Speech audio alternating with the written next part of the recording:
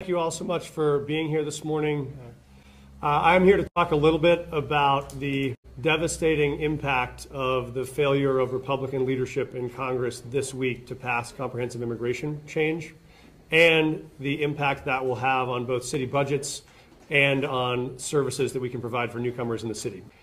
The second is we will start to have to greenlight a set of hard decisions about budget reductions across the city to meet those costs that we know will continue to arrive. Um, Yes, you heard that correctly. That is the mayor of Denver, Mike Johnston, who just announced that they will be doing budget cuts for the city in order to make funding available for illegal immigrants who are flooding in.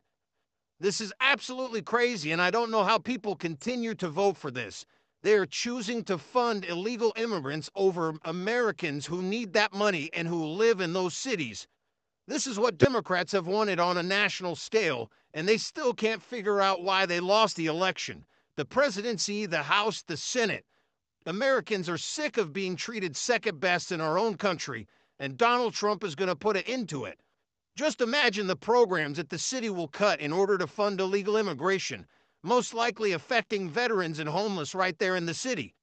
It's time to stop this madness and make America great again. As always, Patriots, stay ready and get prepared. We'll see you back here real soon.